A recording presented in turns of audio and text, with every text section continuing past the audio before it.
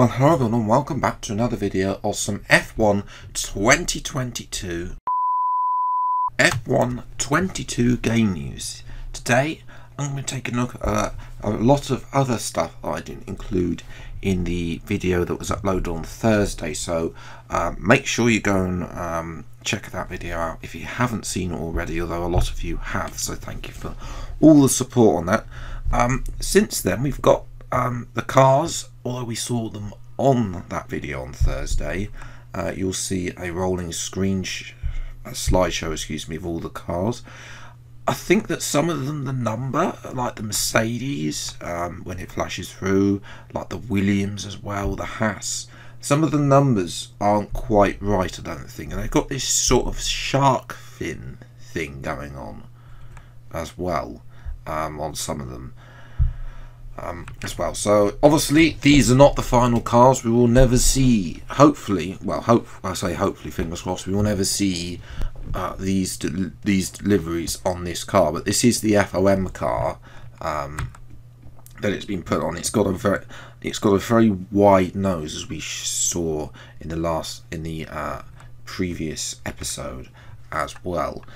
Um, but yes, obviously we haven't had the full cars yet come out.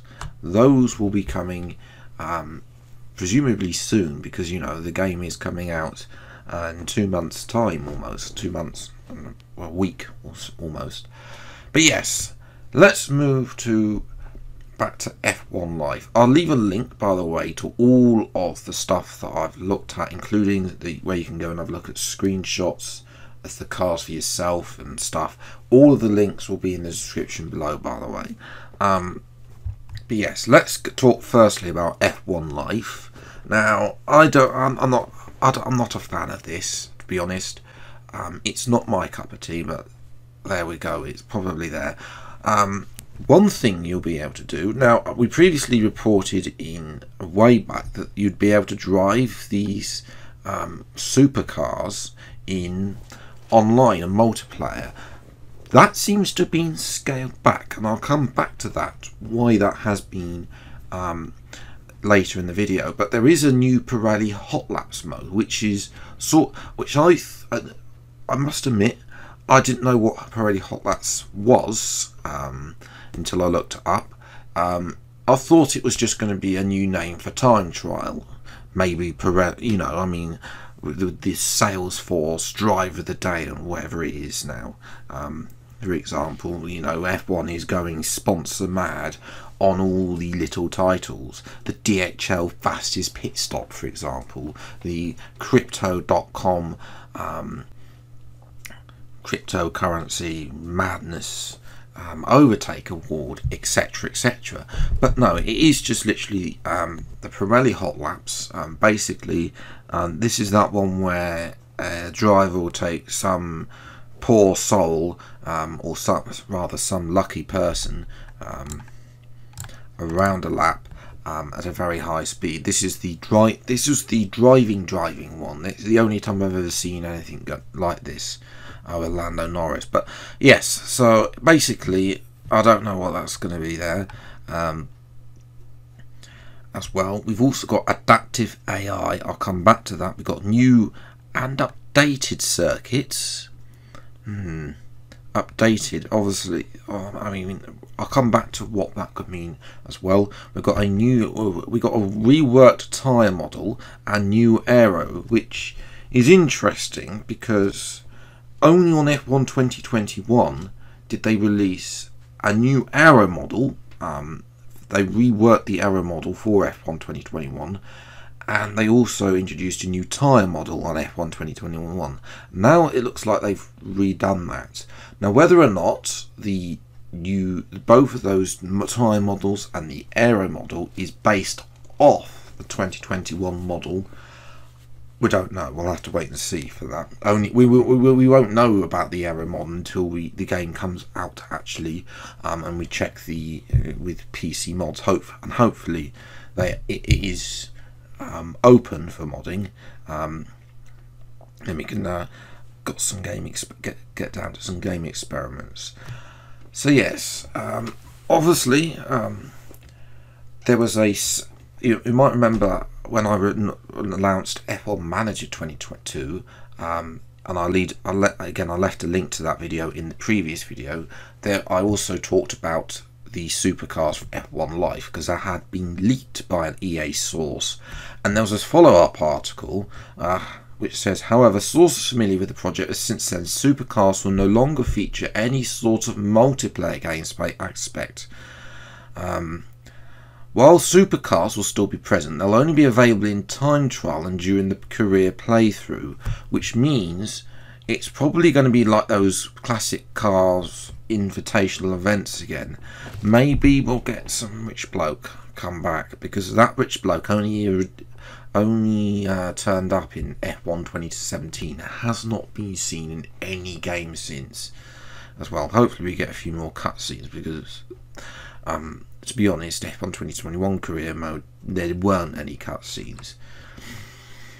The reason provided for this late change is FOM um, requested that the supercars inclusion be scaled back. It is unclear if FOM made decision following my uh, the original uh, report which I reported which I included in that original video, with many in the vibrant and very vocal F1 community expressing their displeasure and criticising the move online.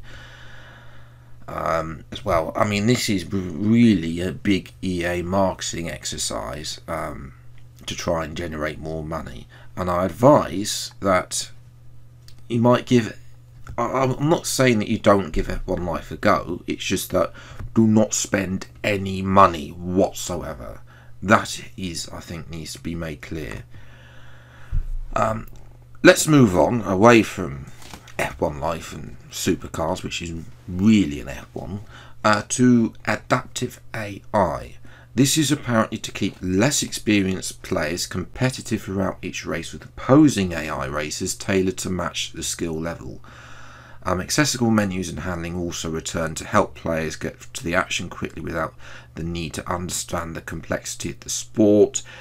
Hopefully, they've changed the menus because trying to join the lobby online, um, yes, we don't. Yes, although they got those beginner-friendly lobbies, but they are just it's just a nightmare with those beginner-friendly models and all the ghosting that goes on as well. Um, so yes, this, this, is a little bit interesting. I'm, I'm, I'm interested to see how this new AI, AI model works, whether it's tailored to your driving style, which I'm not against um, actually, because you know, if you've watched my Driver Career Mode series, um, you will know that I have a tailored driving style that I suit certain races. I'm hoping we get some of the AI what we'd like in the future, and I say I don't think this will be it, but the AI maybe having a bit of more realistic characteristics so they do well at certain uh, tracks that suit them. Um, because you know, I have certain tracks that suit me, I only do well at these certain tracks. Maybe having a look at historical record, gate again, the drivers can help tune fine tune their AI in the future. But that's for that's one for the that's one for the future. Whether or not the AI will be able to adapt themselves, be able to be competitive, I mean, there have been issues, and I've got another video coming about what I hate about F1 2021 that needs to be fixed in F1 22. Um, that video is coming, but basically, um, obviously, that one of the big things is the AI goes supersonic speed through fast corners. Hopefully, with this new adapted AI model, that means that they are no longer going supersonic speeds, and they we can actually race them a bit more, and you know fine tune um, the AI level. Uh, the practice programs have been refreshed, offer more variety with a new scoring system and on-track visualization. This helps players navigate each twist and turn to, perfect, to perfection before racing those important championship points. So it's good because the practice programs, and although we got quick practice, which has been good, although I do have a criticism about quick practice because if you drive a 25% career mode, you have the same timings because although you've got less time for practice, you get half an hour instead of the hourly session uh, if you're a 50% race career mode. Um, the the each the um, practice program takes the same time if you were as if you were doing um, a 50% um, practice basically. That makes sense. Um, as well so I'm interested to see what practice programs are available. I've always said that the uh, track acclimatization program should just be available as a guide and shouldn't give any R&D points but should be available to get people uh, you know to, to try and fine tune the setup every every, every, each weekend as well. And then obviously you look at the other practice programs, but we'll have to wait and see what um, those, those um, bring up. Now, Lee Mather says the handling is more true to life. Um, we'll be the judge of that, Lee, because you know, um, uh, he, yeah, he's, he has the same lines every year, um, Mr. Lee Mather. So take I always take his words with a pinch of salt. I'm not going to lie, um, because again, at the end of the day, his job is to try and sell as many copies of the game as possible, and not try and provide and what actually is actually happening um, as well. My team, of course, is coming back. Drive career mode, of course, is also staying, and there's also the two-player career mode version as well. There isn't a my team um, a, a two player my team, so that's one for the future. But obviously, um, this time you get to select your own starting budget with newcomer, challenger, and front runner. I might do a little game experiment on the new game where we see how quickly you can win the title with a front runner budget as well. Um, we would assume that if you are up for a challenge and want to progress over several seasons, uh, selecting a newcomer budget will see you kick off with a Haas size budget, and hopefully this means that you have the worst car on the grid as well, um, because that has never actually you in pre in both F1 2020 and F1 2021, um, you didn't the car that you the original base car that you had was third worst on the grid at, at the worst at the at the worst it could be. It was never the worst car on the grid um, in terms of those performance unless you applied mods um, to it. So even so yes that's what we want to see. We want to be able to be the worst team absolute worst team on the grid. Um, maybe, I don't I'm not, I'm not saying we need to be maybe like be on the left where we were a little bit better than what we're where Haas were last year because we don't want to be completely off the pace. Otherwise, people doing that, that I mean, it's that's going to be multiple seasons, but not too far off where Haas were last year, um, and then obviously try and build from there as well. New quack, um, the actual practice programs have all been um, updated as I've already mentioned. Now, there's also this and this Steam page um, as well um, and I'm going to, uh, excuse me, draw your attention to the My Team bullet point because all the other stuff I've covered. Uh, choose your starting budget to create your F1 team from the ground up with expanded department events and deeper livery customization. Now, I'll start with expanded department events. This is some. This is good news because the department events were boring. The dilemmas that came up weren't great um, as well. They just really select an option, and then half the time you couldn't actually select that option. So they weren't really that great, to be honest. Um, I think a lot of people just turned them off because they were pretty dull um, in the end.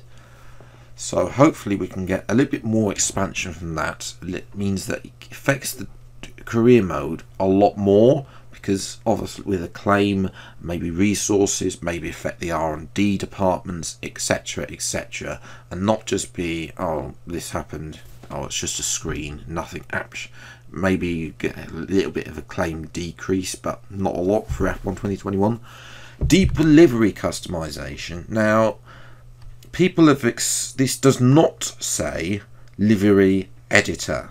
I must i must um, uh, paraphrase that.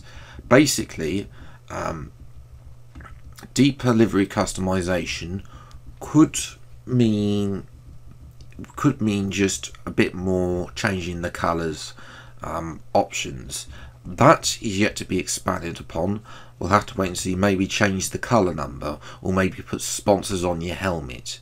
That could be it, or it could be um, what some people are speculating with F1 Mobile Racing because they have they've already, they've had for the entire time a custom livery editor where you can put your entire decal whatever whatever you want on that on your car design basically design your own car in that game. And I'm not saying we're going to get that we'll have to wait, we'll have to wait to see what that comes out but obviously EA don't that's not a cut that's not that game is made separate to the F1 game because it's in a it's um, in partnership with another developer um, as well.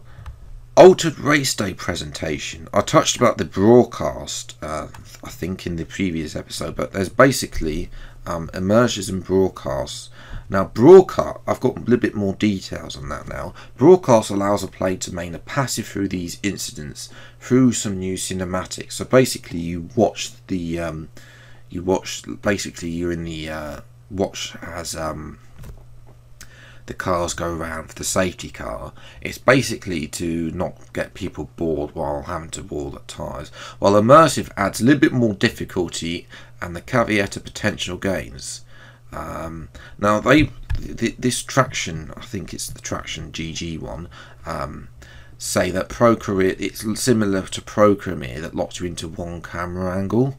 I don't think this is. I think this is basically you drive through the safety car and obviously you have to warm up your own tyres as opposed to the compute the computer to do it for you um, which is what they do speculate here um, obviously um, again all of this looks like it's going to be with the assists as well. Um, and I, am expecting those um, assist options to be sort of expanded um, as well potentially. We'll have to wait and see um, for that. But base that's what I think that's going to happen um, with safety cars. It doesn't sound like red flags are going to be in the F1 2022 sorry, F122 game. I'm going to keep saying that, by the way, um, until I stop saying it. Um, but there are red flags in F1 Manager 22, so we'll have to that game. We'll, have to look forward to. Formula 2. It's going. It's going to be late again. Um, hopefully, it's going to. Uh, the, the problem with I've had with Formula 2 in the F1 game is that it's been severely delayed um, for year for years. Um, what what I mean that is it always past couple of years it's always coming around about December. I mean it's Christmas by the time we get actually get the new cars. I'm wanting now the game's coming out the 20 well first of July, but really it's the 28th of June when the game comes out uh, for the Champions mode, which we still don't exactly know what that's going to contain. But basically, um, what I want to see is F the new F Formula 2 uh, stuff come out at the very latest, the start of September, not Christmas. Because Christmas, the season's over, no, no one cares. I want to see it come out before that. I know that it's not really played enough because it doesn't affect the career mode.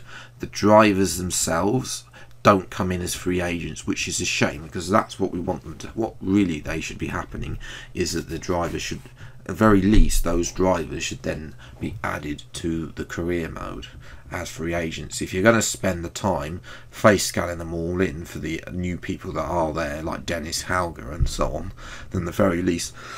Excuse me. They should all be uh, progress, be able to then progress through um, as well. Uh, we've got updated, now I talked about updated layouts earlier. Australia, Spain and Abu Dhabi have finally all been updated. I mean, it's about time really. Um, we, we already knew about Australia because uh, the Australian Grand Prix Corporation tweeted about this a long time ago um, as well that they've been working with Codemasters to try and get this done. Spain was a format, I mean, they should have really done Spain last year because it changed one corner it's not like they've changed the entire circuit really, like Australia and Abu Dhabi. Really, we didn't see the changes until late, so I understand that um, really. Um, but yes, hopefully we can get that, that lot. I'm going to draw your attention to um, this. Um, excuse me, this disclaimer thing, which is the final one thing I got to do. Um, obviously, um, there's a lot of stuff about um, a lot of dribble in here, but one of the things says updates required to access the final F1 Teams 22 cars. So hopefully um, that's just purely for people who are pre-ordering now. Um, the, the game and the game obviously then updates and the cars will be ready by the 28th of June. Certain circuits, um, certain circuits is got people interested here. Um, obviously, we know content is just updates and then the season update, but certain circuits has got people interested, maybe thinking that you know we might see an updated version of Spa or Austria or those tracks that haven't been updated for years. I mean, I mean, I don't think Austria actually has ever been updated since F1 2014. So you know, I mean, the, the, track's changed in the eight years. Technology has changed in the eight years that's been since since since then. It's about time that we had these tracks all updated. And hopefully, EA will be providing those additional resources so that we can finally get those new versions of the, the, the cars. So yes, that's where I'm going to leave it today. If you haven't enjoyed, then leave a like, subscribe to the channel, and you see plenty more F1 22 game news. As soon as it comes out, I'll make a video. Um, I'm sure there's going to be new stuff launched every week because, of course, previously Codemasters of Light like have liked a three-month window to launch and promote the game. We've only got a two-month window this year, so you know we're going to get twice as much content as well. As well, I'll also um, find some stuff on F1 Manager 22 as well shortly, and I'll make a video on that. Should should there be extra stuff as well? So yes, until the next video, then I'll see you next time. Take care. Thanks so much for watching. Enjoy your day, and goodbye.